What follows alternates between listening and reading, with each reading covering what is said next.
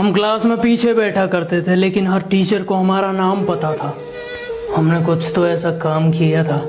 तुम आगे बैठकर किताबें चाटा करते थे, हम पीछे बैठकर मस्ती काटा करते थे। हमने स्कूल के उस पल को भरपूर जिया था।